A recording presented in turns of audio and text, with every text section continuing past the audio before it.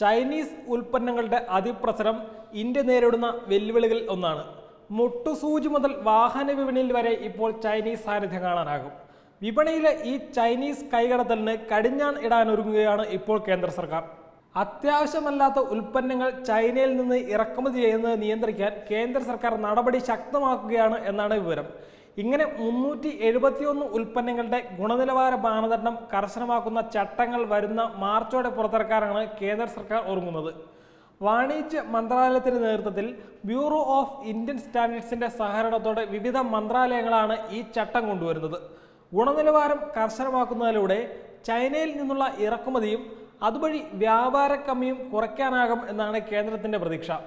രണ്ടായിരത്തി പത്തൊമ്പതിൽ India China വ്യാപാര കമ്മിയിൽ മുൻ വർഷത്തിൽ നിന്ന് എഴുപത്തോരായിരം കോടി രൂപയുടെ കുറവുണ്ടായെങ്കിലും ആകെ നോക്കുമ്പോൾ മൂന്ന് പോയിന്റ് ഏഴ് ലക്ഷം കോടി രൂപയാണ് ഇത്. ഇതിൽ ഗണ്യമായ കുറവ് വരുത്താനാകും എന്നാണ് ഇപ്പോൾ സർക്കാർ ലക്ഷ്യമിടുന്നത്.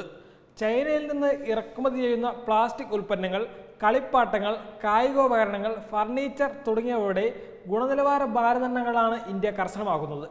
ലോക വ്യാപാര സംഘടനയുടെ നിർബന്ധനങ്ങൾക്ക് വിധേയമായി നടപ്പാക്കുന്ന ഈ ഗുണനിലവാര നിയന്ത്രണം ഇന്ത്യൻ വ്യവസായികൾക്കും ബാധകമായിരിക്കും എന്നാണ് അറിയുന്നത്. മാനദണ്ഡം കർശനമാക്കുന്ന മുന്നൂറ്റി എഴുപത്തൊന്ന് ഉൽപ്പന്നങ്ങളിൽ നൂറ്റി പതിനൊന്നെണ്ണം രാസവസ്തു പെട്രോകെമിക്കൽ വകുപ്പിന് കീഴിൽ വരുന്നവയാണ്. അറുപത്തെട്ടെണ്ണം ഖനന വ്യവസായ വകുപ്പിനും അറുപത്തിരണ്ടെണ്ണം ഇലക്ട്രോണിക് ആൻഡ് ഇൻഫർമേഷൻ ടെക്നോളജി മന്ത്രാലയത്തിനും അറുപത്തി ഒന്നെണ്ണം വ്യവസായ വകുപ്പിനും നാൽപ്പത്തിനാലെണ്ണം ഉരുക്ക് മന്ത്രാലയത്തിനും ഇരുപത്തഞ്ചെണ്ണം ടെലികോം വകുപ്പിനും കീഴിൽ വരുന്നതാണ്.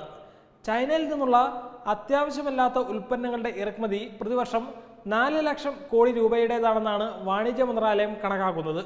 പുതിയ മാനദണ്ഡം നടപ്പാക്കുമ്പോൾ ഇതിൽ ഗണ്യമായ കുറവ് വരുമെന്നാണ് കണക്കൂട്ടൽ വെബ് ഡെസ്ക് തത്വമൈ ന്യൂസ്